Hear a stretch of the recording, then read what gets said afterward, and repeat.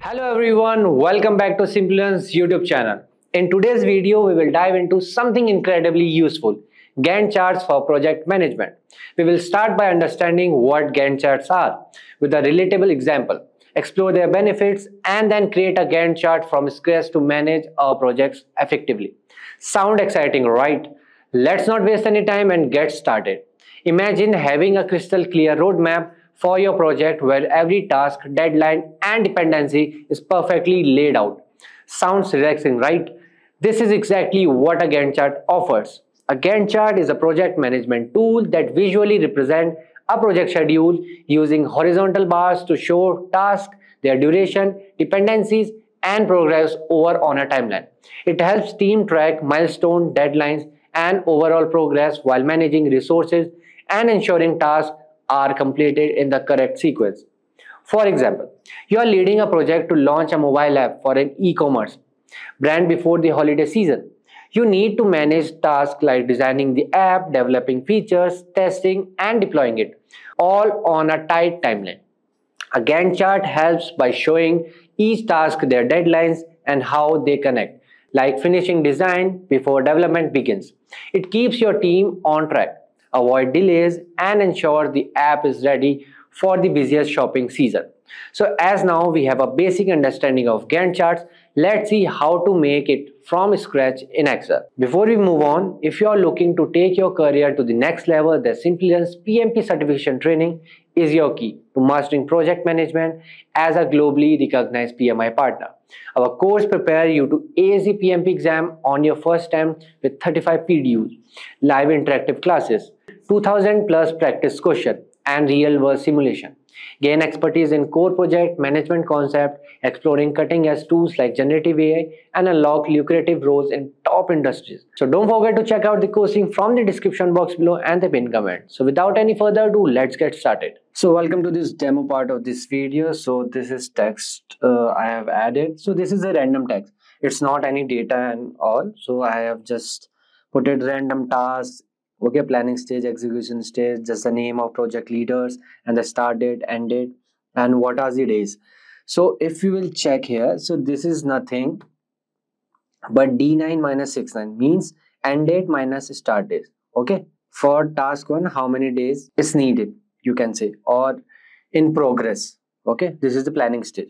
And progress is 90 percent. This is also random okay nothing else. Okay so while just putting date and uh, all the things just uh, see this. It should be date. Okay long date. It means january it will write or zero one it will write. Okay and for the progress one it should be percentage. Okay otherwise it will show you the error. So days are random. Yeah now it's visible i guess. Okay so here you can see uh, so this is all the part of text formatting okay the the colors and the styles and these are the execution stage and the review stage. So project name i just uh, put it here project management xyz company okay? And the project started i put it first january because here i have wrote first january 2025 and the current date is you can just type equals to today uh, these brackets and the current date will come. So today is 10th of january and the week in progress week 2 so how i've written week 2 first i have round round up b3 minus b2 means current date minus project start date. Then i had converted into the week format. Okay it will give me days when i will uh, just subtract it. Okay from b3 minus b2 divided by 7 means it will give me the week. So how i have added this wk wk means week so just select the cell and press Control 1. Then you will see this. So I have write it here WK and this hashtag. Okay. Then hashtag will take this too. So here if I will write let's say PP so it will show me PP2 see here PP2 it will convert okay so I want week here so I will write WK or you can write like your choice okay if you are taking days or whatever. So i have to week in progress. So that's why i've chose wk so moving forward uh, let's set the timeline. Like first week second week. So here i will write one. Okay. Then here i will write equals to this plus one. It will show me two. Then again same process. I will select this. Control one. It will show me like this. And i will go to custom and i will go to here this this thing it will show me week one week two. Then i will go till okay week 59 here what you can do equals to you can put and you can select this okay? Just enter it. So first jan will come okay? So here you will do equals to this you will select h6 then plus 7 it's the same method but what will happen i will show you but what will happen? Okay. So if you will change this to let's suppose 21 okay so automatically every date will change.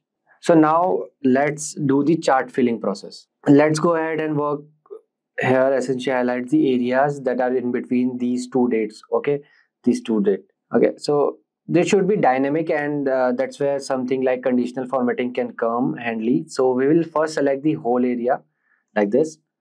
Okay. Okay. Till yeah till june we can select. And rows. Yeah correct. And just go to conditional formatting and here you can select the new rule. Here use a formula to determine which cells to format and here you will write uh, the you know formula. Yeah so just select this area and here I will write equals to and okay then bracket then I will select this okay starting. Then it should be greater equals to this start date. Got it comma. Then again I will start this select this and I will write it's less than equals to the end date. Okay. So now I will remove this dollar. Why? Because because I want to go through all these end dates.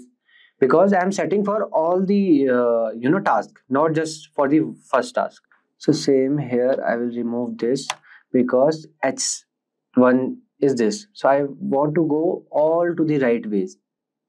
Okay. Then again here for the start date same thing okay? Then for the start same thing cool. Then i will bracket here then i will go to format you can select the color of your choice okay? Then you will press ok then yes.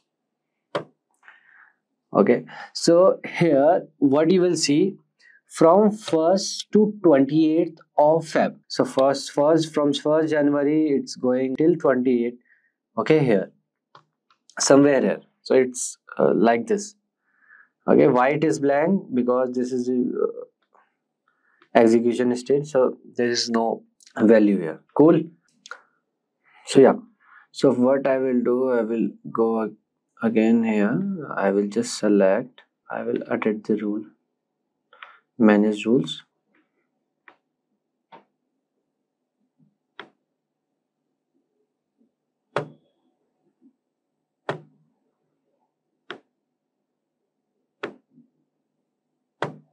Yeah.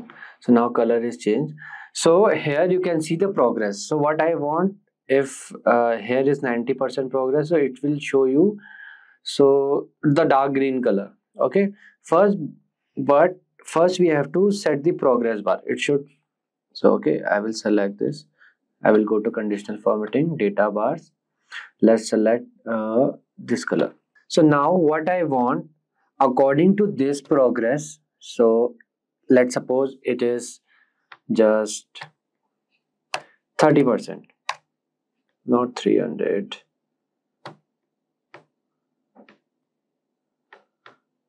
it is just 30 percent. Okay? So what i want the 30 percent should be in dark green rest should be in light green. Okay? So for this it's a little bit uh, complex formula. So just uh, look it carefully. So here i will write and. First i will select.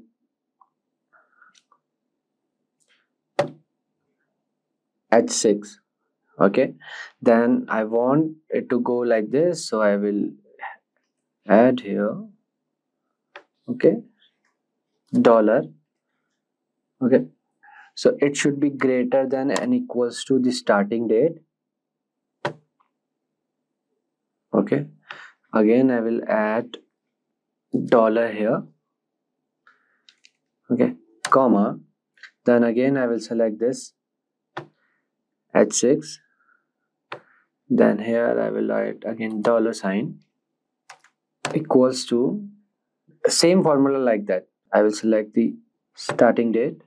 Okay then here i will add dollar. Then i will add here plus. I will start with one bracket. Then i will write.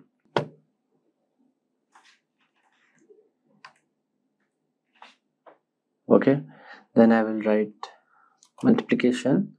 Then i will select this then here i will add dollar and here i will add dollar. Enter. So it's true. Means this part is you know uh, our progress is fine. So i will drag it to the last. So now you will see true and false. Okay? See true true true because 30 percent only done. False false false. What if i will change it to 70 percent it will change automatically. True true true true. False false false false. So first what i will do i will give the color here. Whatever the color is to differentiate because I can't see properly. Yeah it's fine. So here I will select this and I will because I need I don't need uh, this true and false I need uh, the color value. Okay? So for that same we'll go to conditional formatting then same new rule then okay before that before that okay.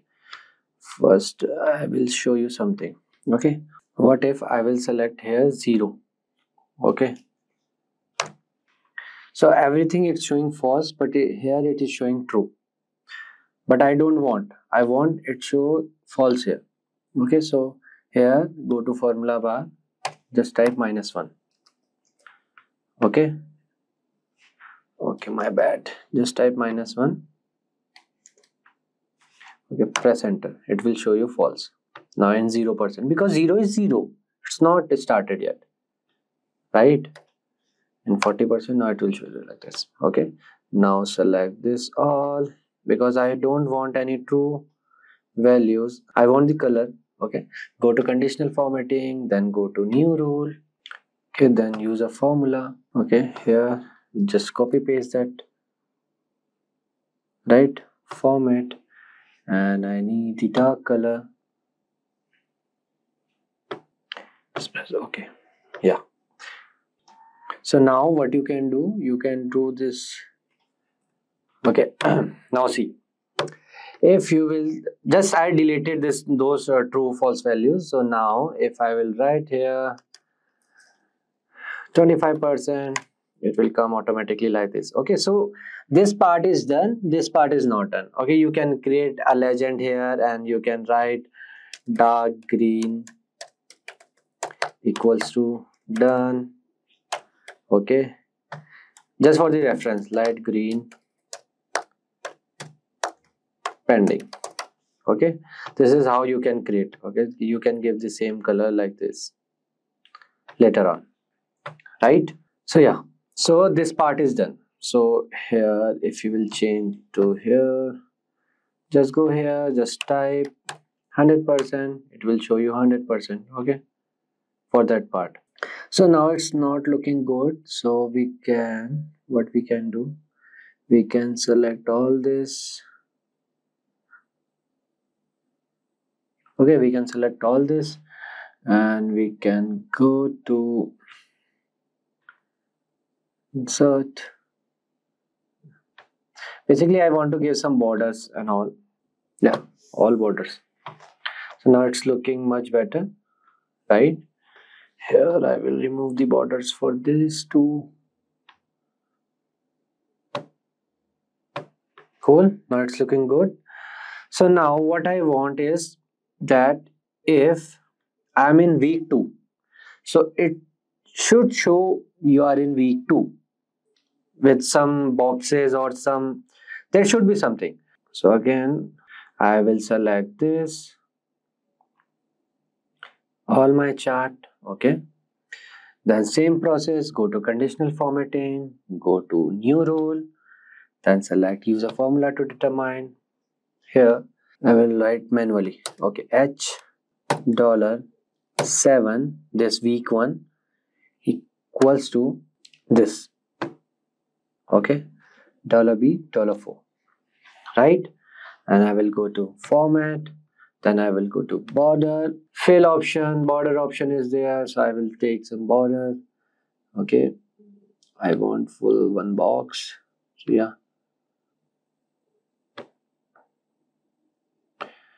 color it should be red. Okay this side color should be red. I want full. Basically outline. Okay then I will press ok okay it's selected 2 because week 2 week 2 why it is coming like this? H7 plus 7 okay why it's duplicated? Yeah. Let me fix this.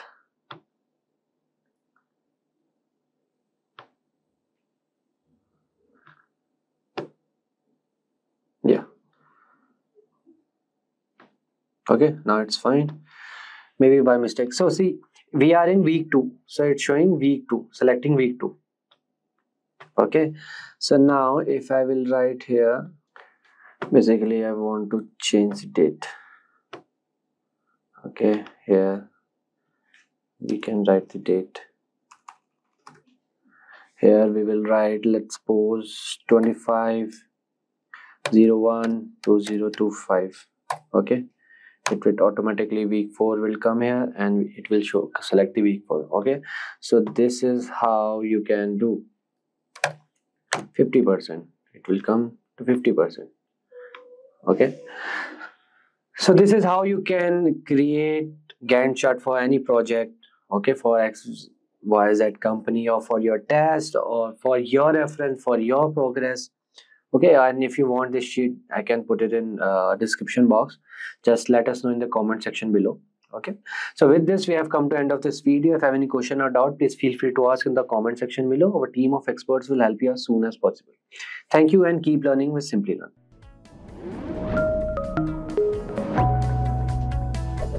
Hi there, if you like this video, subscribe to the Simplilearn YouTube channel and click here to watch similar videos. To nerd up and get certified, click here.